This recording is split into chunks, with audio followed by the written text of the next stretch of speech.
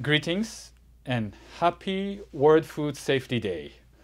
This year's theme is Safer Food, Better Health, as the consumption and production of safe food have immediate and long-term benefits for people's health. Together, there are several actions that we can take now for the future. Traditional food markets are key parts of our food systems. They play an important economic, cultural, and social role in the Asia-Pacific region and are a source of livelihood for millions of people in both urban and rural areas. Healthy and safe traditional food markets can be achieved by implementing measures based on the risk identified in the market.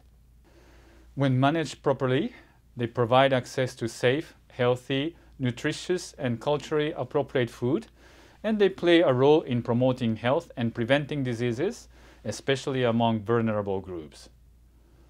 When managed improperly, food markets can be unsafe environments and even pose health risk-related food safety and zoonosis threats. They can also serve as an amplification setting for the human-to-human transmission of respiratory diseases, including COVID-19, if appropriate measures are not in place. Whether you're a consumer or you work in a food market, there are simple measures you can take to mitigate the risk in traditional food markets. Maintaining good personal hygiene habits, avoid mixing raw and ready-to-eat foods, check if foods are safe and suitable for consumptions before eating them, and minimize contact with live animals in market, and follow local public health and social measures to prevent the spread of infectious diseases, including COVID-19. We must also recognize connections between the health of people, animals, plants, the environments, and the economy in order to better prepare for the future. Adopting holistic One Health approach to food safety can help deliver a better food safety system.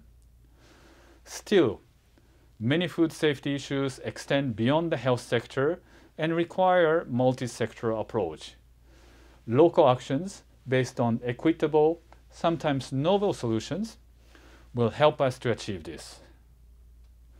Concerted effort on food safety will help countries mitigate the socioeconomic impact of the pandemic and boost their resilience in long term by facilitating and accelerating food and agriculture trade, helping to prevent the next zoonotic pandemic and transforming food system. Food safety is everyone's business. Guaranteeing food safety for all is a shared responsibility which involves the participations of many actors from different sectors, including consumers. WHO is committed to supporting countries in this effort. Happy World Food Safety Day!